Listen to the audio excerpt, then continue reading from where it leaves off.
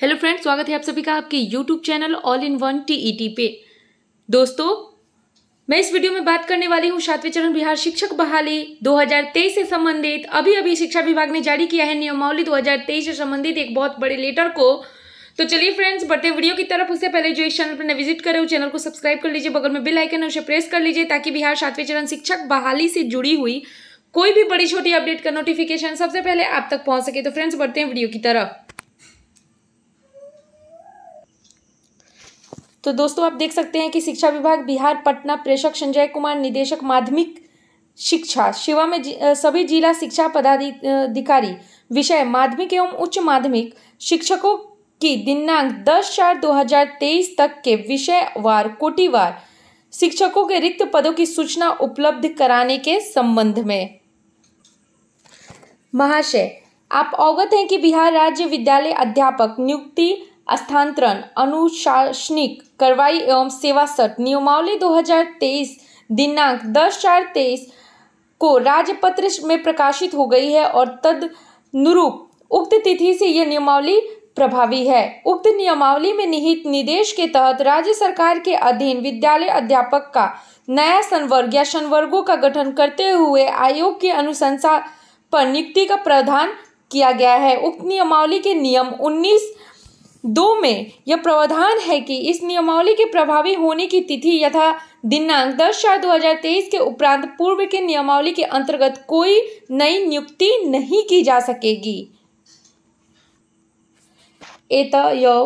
विद्यालय अध्यापक के पद पर सीधी नियुक्ति हेतु जिला स्तर पर उपलब्ध रिक्त पदों की गणना आवश्यक है। उक्त स्थिति में आपको निर्देश दिया जाता है कि जिला परिषद एवं नगर निकाय क्षेत्र अंतर्गत सभी नियोजन इकाई में दिनांक दस चार तेईस के उपरांत विषय या वार रिक्त रह गए। माध्यमिक या उच्च माध्यमिक शिक्षक पदों की गणना कर उसे समेकित कर उसे दिनांक 20 चार 2023 तक निश्चित रूप से उपलब्ध कराना सुनिश्चित किया जाए।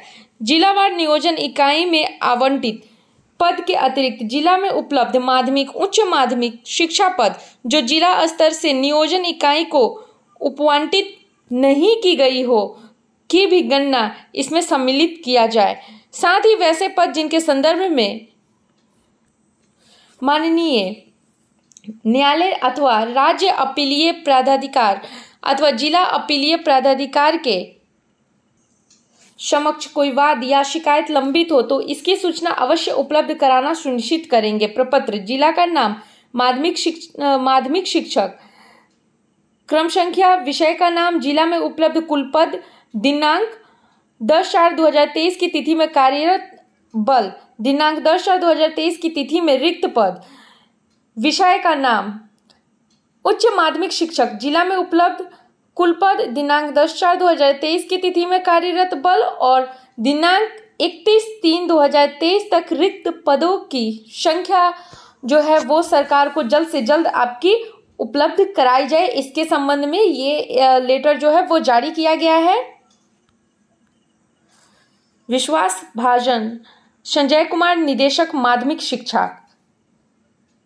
प्रतिलिपि सभी क्षेत्रीय शिक्षा उप निदेशक या सभी जिला कार्यक्रम पदाधिकारी को सूचनार्थ एवं आवश्यक कार्यरत प्रेषित।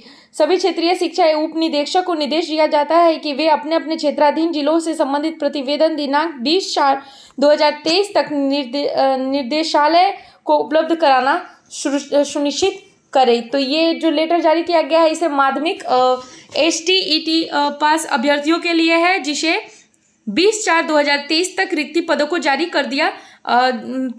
राज्य को जल्द से जल्द भेज देने के संबंध में ये जारी किया गया है कि जल्द से जल्द रिक्त पदों की गणना करके जिलावार, कोटिवार सरकार को दे दिया जाए। 20 तक 20 अप्रैल तक, उसके बाद उसके बाद सरकार के द्वारा जल्द से जल्द आपकी फॉर्म को अप्लाई करवाएगी एग्ज़ाम लेने के लिए।